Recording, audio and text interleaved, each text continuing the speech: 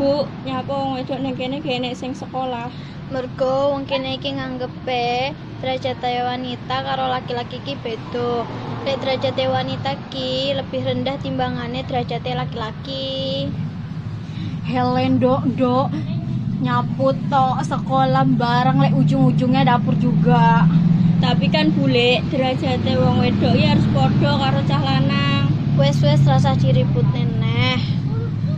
Tapi mengapa pemikiran masyarakat di desa sangat rendah ya?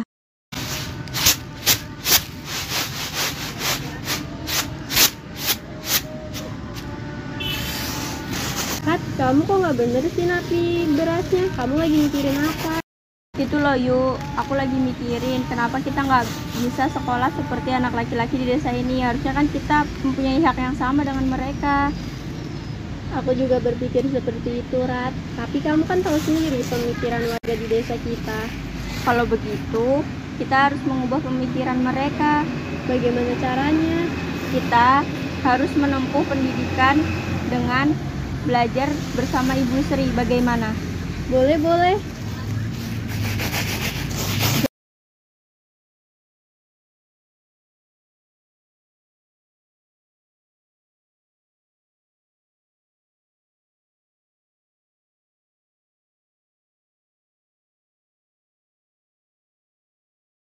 Sewu, Guru. Monggo dok duduk.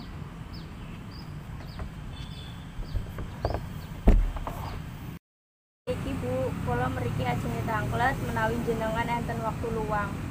Nggih dok monggo. Ngenten Bu, kula kalih Ayu mriki ingin bermaksud untuk Ibu mengajari kita seperti laki-laki di desa ini. Nggih, saged napa mboten Bu?